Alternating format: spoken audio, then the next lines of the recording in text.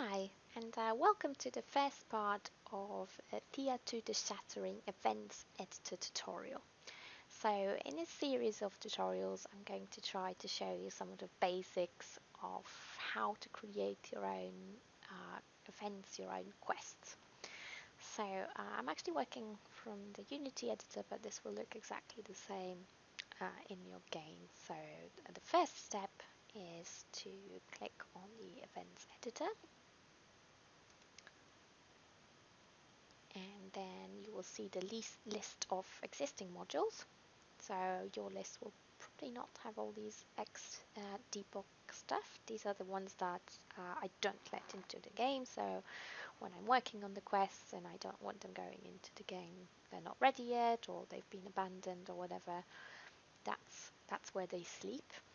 So to create a new module, you click on the nice green cross and you name your new module. So I'm going to do this one as X uh, debug tutorial videos.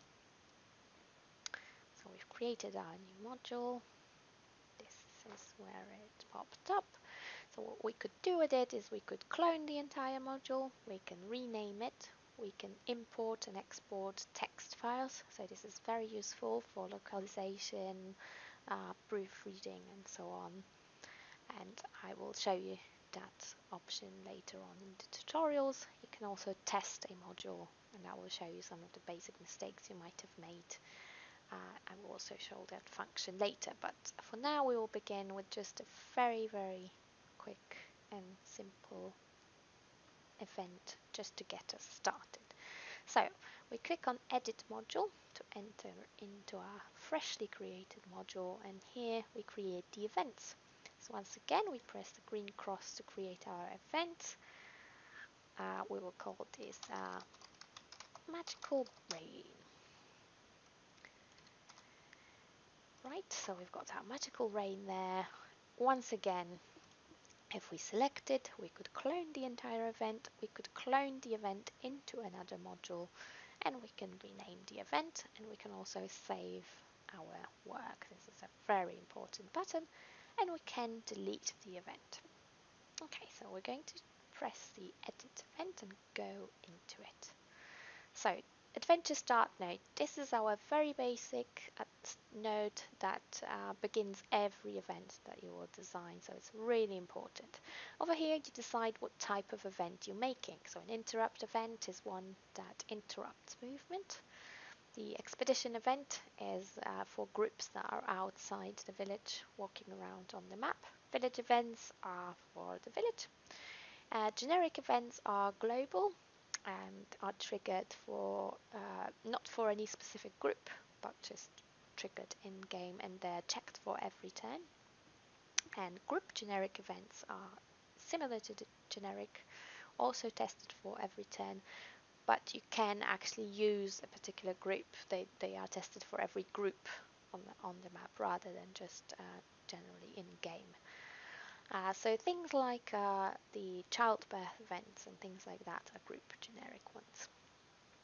So uh, the event we're going to make today is just uh, going to be some weird magical rain coming down at us. So what we're gonna do is we're gonna make it an expedition and village, so it could happen in either expedition or village, and we are gonna make it an interrupt event as well, so it can interrupt your journey and we're going to set it to difficulty 1. You can uh, use a scale of 1 to 10 and this will determine when your event can start spawning but also when they stop so depending on the biome that you're in uh, some of the easier events will not occur.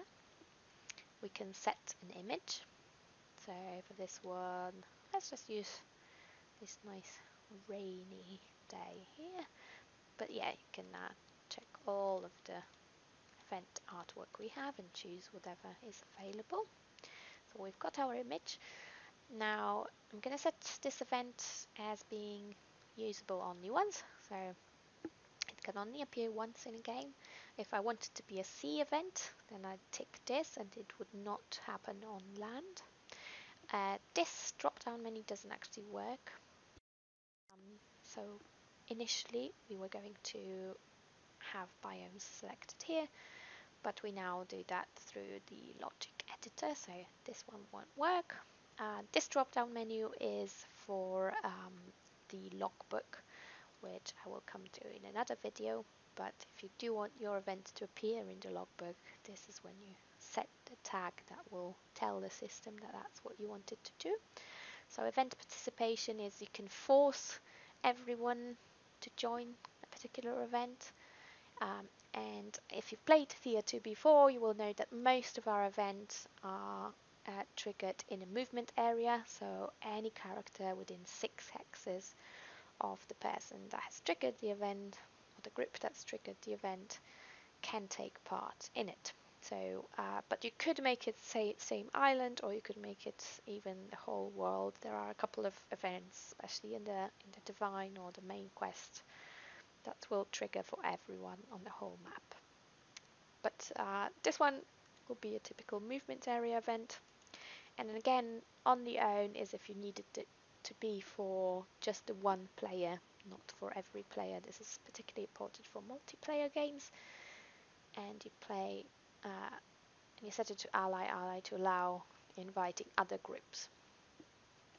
Right, so movement area ally ally is the standard for the majority of events. So if you wanted any other prerequisites for your event, you do it through enter the logic editor here. Uh, a couple of important things to note. If you are creating any groups, so let us say that you create a list of just characters, so all players, all group of characters. Um, that will set for all the people in this group. And let's say you wanted it to be for this particular event you want at least two people so list size more or equal than two so this will check if there are at least two people in the group that has triggered this event and only then will it be allowed to uh, to happen. Um, however, uh, try not to use the groups uh, that you create in the filters or processing in this particular node uh, later on in the event as it can crash. So I'll, I'll come to more advanced options in this in, in another video, but that's just some basic advice there. Right, so we have the prerequisites and other prerequisites of course could be things like the terrain you're on. So uh, let's say that this event will only trigger next to a lake. So if your village is by a lake or your group is traveling by a lake, then that's when this event has a chance to trigger. So it needs two people, it needs to be by a lake. So these would be your prerequisites. And so these are all the criteria that we've set for this particular event to happen. So now to move forwards, you add a new output and you right click anywhere on the field here and this little menu comes up. So these are your building blocks for all of your events.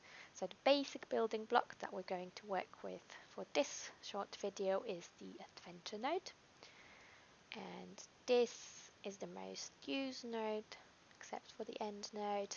This is where your text goes, so this is where your main adventure happens. So in this one we will say um, odd magical rain falls on you and that's it because we want to keep it simple. Now, uh, just for the purpose of, of demonstrating a simple event, I'm not going to add any additional options to this one. So it's, it's simply telling you this, this is what's happened. Uh, so we're going to say, try to stay sheltered and wait for it to pass. That's going to be our option. And uh, let's say this odd magical uh, rain will actually deal some spiritual damage because, well, we want every event to do something, don't we? So we've selected a deal damage node from the menu. Again, you right click to uh, show the menu. That was the deal damage node. Right click again to get rid of it or if you click on anything else it will disappear. Uh, so yeah, we connect our nodes with the little strings. So then uh, if you we need to ever move them around or anything, they, they still stay attached. So the deal damage node, uh, we have three types of damage. We've got mental, physical, and spirit damage. And we have a minimum and maximum damage, and we can set the damage as percent. So for example, if we do uh, 20 to 30 and set it to percent, then it adds, then it's um, deals 20 to 30 percent damage. If we didn't do the tick, then it would deal 20 to 30 damage. So it's uh, important to remember which one you want to do. This one will do spirit damage. So now what we want to do is we want a particular group of people uh, to be dealt this damage. So at the moment we don't have anything on the list.